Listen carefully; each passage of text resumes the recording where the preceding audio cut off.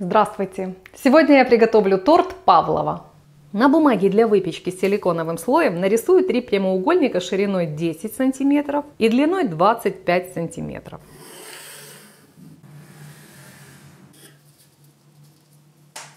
Готовить буду при помощи стационарного миксера из новой линейки «Горизонт» от британского бренда с 65-летней историей Russell Hobbs. Приборы Russell Hobbs отличаются не только современной функциональностью и высокой производительностью, но и стильным дизайном. Миксер может быть использован как в стационарном, так и в ручном режимах. Имеет 5 скоростей и режим турбо. Белки комнатной температуры соединяю со щепоткой соли. Чашу миксера устанавливаю на базу и на малой скорости взбиваю в устойчивую массу. Масса должна состоять из мелких однородных пузырьков. Не прерывая взбивание, небольшими порциями добавляю сахарную пудру. Увеличиваю скорость миксера на максимум и взбиваю белки в устойчивую глянцевую массу. На минимальной скорости взбивания добавляю крахмал, лимонный сок, и щепотку ванилина, который можно заменить ванильным экстрактом. Перекладываю массу в кондитерский мешок с насадкой звезда.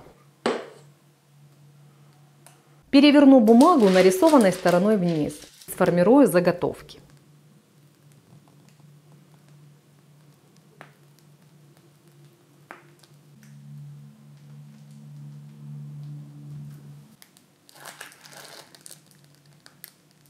Подсушу заготовки в разогретой до 110 градусов духовке на среднем уровне в течение 50 минут без конвекции.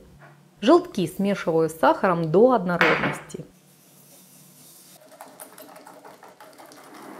Малиновое пюре помешивая довожу до кипения. Тонкой струйкой добавляю к желткам.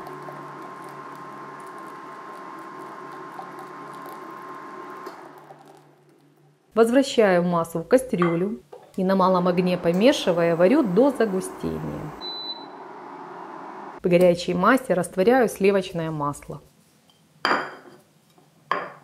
Полностью остужу при комнатной температуре. Крем можно приготовить заблаговременно и хранить в холодильнике.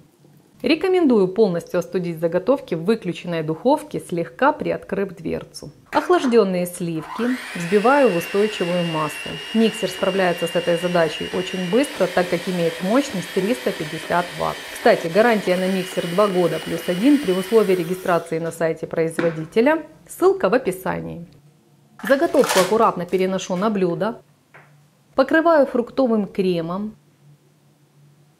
затем взбитыми сливками. Распределяю ягоды черники и малины. Ягоды можно подобрать по вкусу или сезону.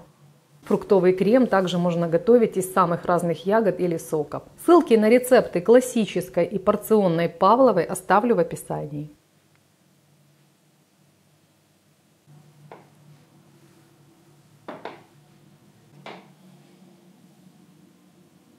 Обратите внимание, что торт собирается перед самой подачей. Как вариант, торт можно заморозить и подать в замороженном виде.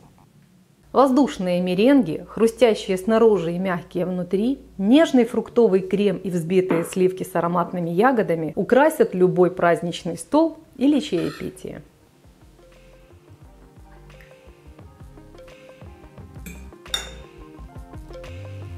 Ингредиенты и нюансы приготовления вы найдете в описании под видео. Подписывайтесь на канал, комментируйте, делитесь с друзьями, ставьте лайки. С вами была Ирина Подолян на канале Приятного аппетита!